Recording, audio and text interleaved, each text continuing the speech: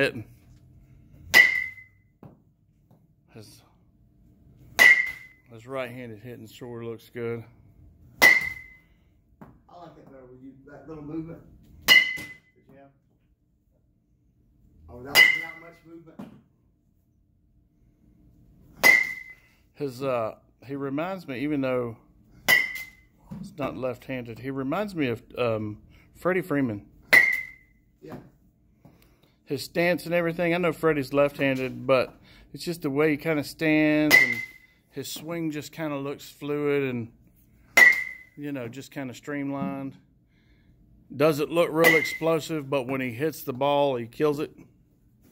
Good job. Yep. Here's what left hand. Man, I like this shirt. You're, you're going from here down and lifting your foot at the same time. And it's, it, it's working, but if you just, if you stay tall up here and just raise, then you can come down to the ball easier and you drop it out. So try not to squat if you can. If you can. Try to just raise up and then drop into the ball. There you go. Yeah. Hmm.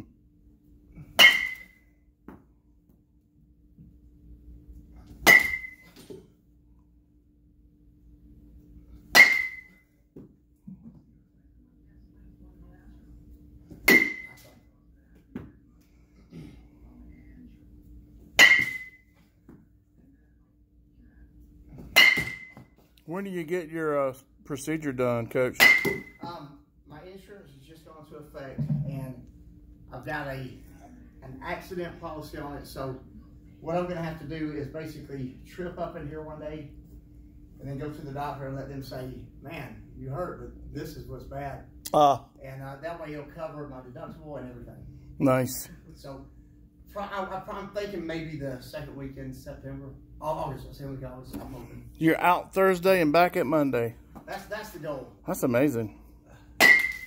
George uh, had his done, and he said within a week he was doing jumping jacks. Really. Yeah. How are you? 52.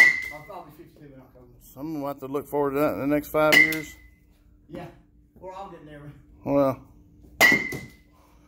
talking to one of my coaches uh, last night. He had his hip, his knee done, and uh, like, yeah, I said, I'm, I'm working my way way down. I started with the shoulder, I'm going to the hip, then I'll get knee.